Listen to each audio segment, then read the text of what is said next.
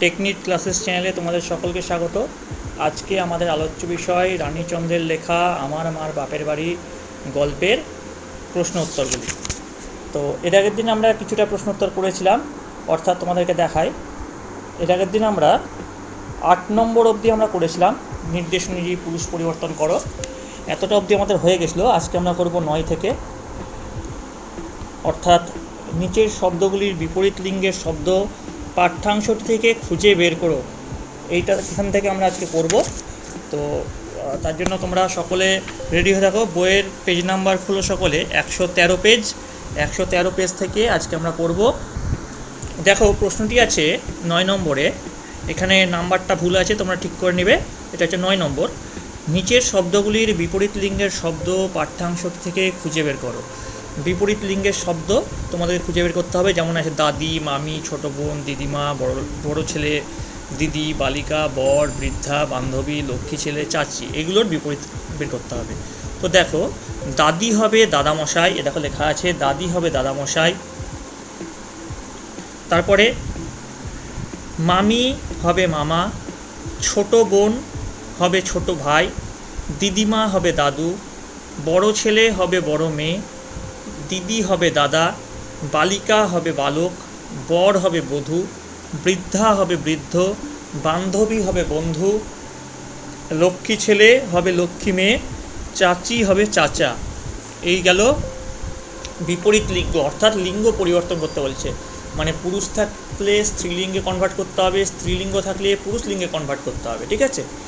এইটা হচ্ছে তোমাদের এখানে বলেছে। এবার দেখো, পরের যে প্রশ্নটা আছে, তোমাদেরকে আজকে যে রেকর্ডেড ক্লাস করছি, এর অন্যতম কারণ হচ্ছে তোমাদের আজকে প্রশ্নোত্তর করাবো।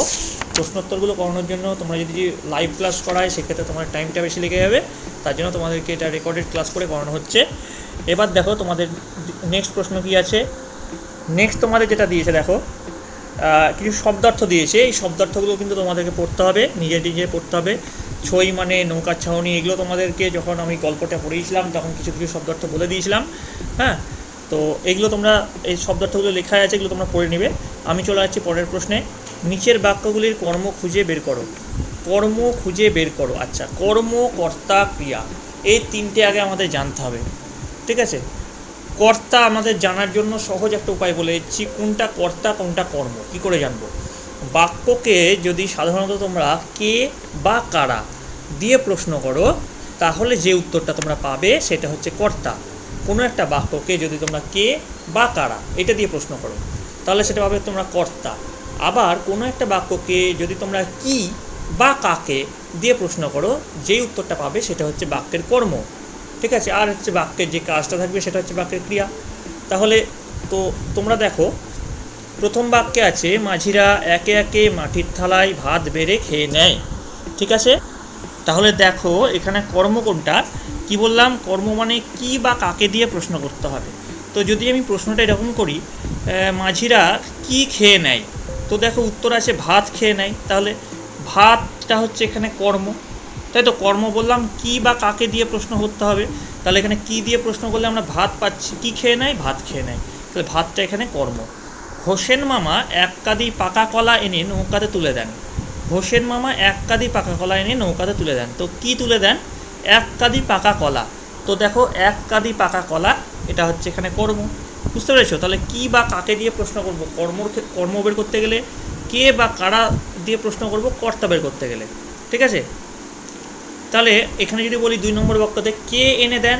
হোসেন মামা এনে দেন। তাহলে এই বাক্যে কর্তা কোনটা? কর্তা হবে কিন্তু হোসেন মামা।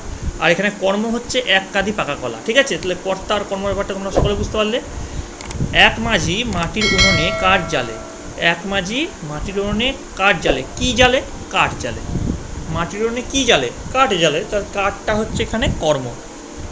তার জন্য দেখো এখানে কাঠ কর্ম লেখা আছে। মাঝিরা নিশ্চিন্ত মনে নৌকা ভাষায় নিশ্চিন্ত মনে নৌকা ভাষায় কি ভাষায় মাঝিরা? মাঝিরা নৌকা ভাষায় তাহলে এখানে নৌকাটা হচ্ছে এখানে তো কর্ম। যদি কারা ভাষায় প্রশ্ন করি, তাহলে এটাকে আমরা যেটা উত্তর পাবো সেটা হচ্ছে যে কর্তা, মাঝিরা ভাষায়। মাঝিরা হচ্ছে এখানে কর্তা, ঠিক আছে? মা জলের দোলা সইতে পারেন না। মা কি সইতে পারেন না? দোলা সইতে পারেন না। দোলাটা হচ্ছে এখানে কর্ম। আর কে সইতে পারেন না? মা সইতে পারেন না। এটা হচ্ছে এখানে কর্তা। তাহলে কর্তা হচ্ছে, আমি বলে দিচ্ছি আর একবার তোমরা যে কোনো যে কোনো বাক্যের কর্তা খুঁজে তোমরা লিখো। কে বা কারা দিয়ে প্রশ্ন করলে সেটা হবে কর্তা, কি বা কাকে দিয়ে প্রশ্ন করলে সেটা হবে কর্ম। তাহলে তোমরা যে কোনো একটা বাক্য ধরে নাও। সেই বাক্যটাকে যদি তোমরা কে বা কারা দিয়ে প্রশ্ন করো, তার কর্তা পাবে। কি বা কাকে দিয়ে প্রশ্ন করলে কর্ম হবে এইভাবে তোমরা বাড়িতে বিভিন্ন বাক্য নিয়ে প্র্যাকটিস করো, তাহলে তোমাদের এটা সহজ হয়ে যাবে। ঠিক আছে? এবার দেখো, কি বলেছে? রচনাংশ থেকে ঠিক ক্রিয়াপদ বেছে নিয়ে নিচের শূন্যস্থানগুলি পূরণ করো। তোমাদের যে এই রচনা আছে বা এই গল্পটা আছে, তার থেকে ঠিক ক্রিয়াপদ বেছে নিয়ে তোমাদেরকে এগুলো পূরণ করতে বলেছে। মাঝিরা জলের গতির ওপরে ড্যাশ। তো এর উত্তর হবে, মাঝিরা জলের গতির ওপরে নজর রাখে। ঠিক আছে? এবার দেখো পরেরটা। ধলেশ্বরী নদী ড্যাশ। উত্তর দেবে, ধলেশ্বরী নদী তালে বেতালে চলে। ধলেশ্বরী নদী তালে বেতালে চলে। এখানে ক্রিয়া যুক্ত করতে বলেছে, অর্থাৎ কাজ যুক্ত করতে বলেছে। তারপরে দেখো, হইচই উচ্ছ্বাস, আনন্দে বাকি বেলাটুকু। উত্তর হবে, কেটে গেল। হইচই, উচ্ছ্বাস, আনন্দে বাকি বেলাটুকু কেটে গেল। ঠিক আছে? পরেরটা দেখো। মুখে মুখে বার্তা কি হয়? চলতে থাকে। এর উত্তর লিখবে, চলতে থাকে। মা আর দিদি নৌকার ভেতরে ড্যাশ। উত্তর হবে, শুয়ে পড়েন। ঠিক আছে? মা আর দিদি নৌকার ভেতরে শুয়ে পড়েন। রাম নাম ড্যাশ। উত্তর দেবে, রাম নাম বলো। একটা কর্তা বা কর্তা সরি বলছি, ক্রিয়াপদ। বেশিরভাগ সময় ইলিশ মাছই ড্যাশ উত্তর দেবে, বেশিরভাগ সময় ইলিশ মাছই থাকে। মা, বাবন চাচা, ড্যাশ। উত্তর দেবে, বলে ডাকলেন, ডাকতেন, অর্থাৎ মা, বাবন চাচা, বলে ডাকতেন। কার বাড়ির নাইয়রি ড্যাশ রে মাঝি? উত্তর দেবে, কার বাড়ির নাইয়রি লইয়া যাও রে মাঝি। ঠিক আছে, লইয়া যাওটা এই শূন্যস্থানের মধ্যে বসাবে। তোমাদের যদি এটা বইয়ে আনবে না নিশ্চয়ই আনবে না এটা, খাতায় সুন্দর করে লিখবে। ঠিক আছে? তারপরে দেখো তখনও বর্ষায় সব জল ড্যাশ। উত্তর হবে তখনও বর্ষায় সব জল সরে যায় না। তখনও বর্ষায় সব জল সরে যায় না। আশা করি এটা তোমাদের সকলের হয়ে গেছে। দেখো, একশো তেরো পেজের পর আমরা চলে যাচ্ছি, একশো চোদ্দ পেজে অনধিক দুই তিনটি বাক্যে নিচের প্রশ্নগুলির উত্তর দাও। হ্যাঁ। বেশি লেখা যাবে না অল্প অল্প করে এটা লিখতে হবে ঠিক আছে? আর একদিন তোমাদের লাগবে এইটা শেষ করতে বড় প্রশ্নগুলো আছে।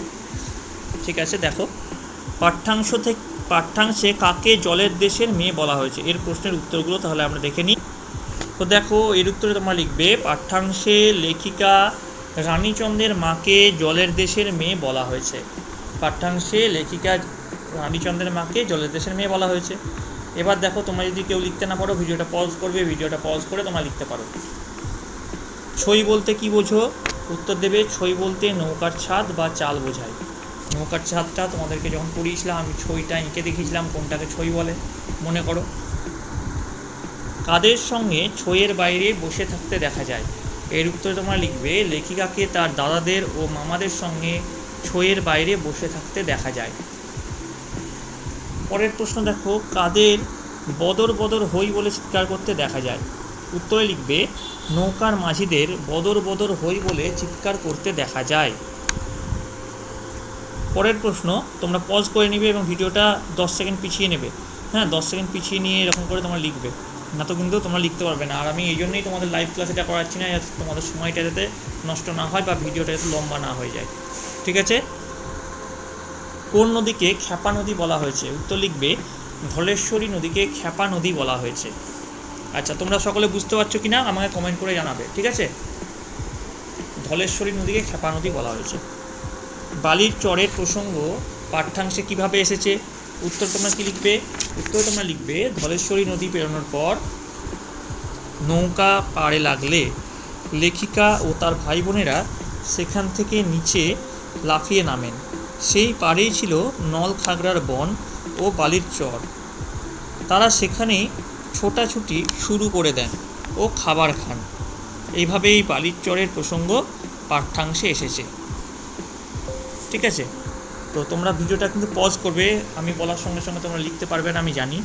ভিডিওটা থামিয়ে নেবে বা দশ সেকেন্ড এগিয়ে নেবে, কুড়ি সেকেন্ড এগিয়ে নেবে, দিয়ে থামাবে, দিয়ে তোমরা লিখবে, ঠিক আছে?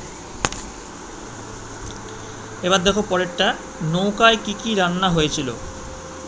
উত্তরে লিখবে, নৌকায় ভাত ও মাছের ঝোল রান্না হয়েছিল। নৌকায় কি রান্না হয়েছিল? নৌকায় ভাত ও মাছের ঝোল রান্না হয়েছিল। এবার দেখি কি আছে তারপরে। তারপরে আছে, নদীতে যেতে যেতে কোন প্রাণীর দেখা মিলেছে? এর উত্তরে লিখবে, নদীতে যেতে যেতে যেতে শুশুক গাংচিলের দেখা মিলেছে এটা একটু অস্পষ্ট তোমাদের লেখা আছে। তোমরা লিখে দেবে আমি বলছি, তোমরা শুনে নাও।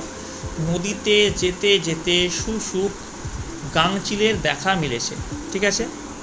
পরের প্রশ্ন দেখো, এই নাম্বারিংগুলো কিন্তু ভুল আছে। নাম্বারিংগুলো কিন্তু ঠিক করে লিখবে হ্যাঁ তারপরে দেখো, গুণটানা বলতে কি বোঝো?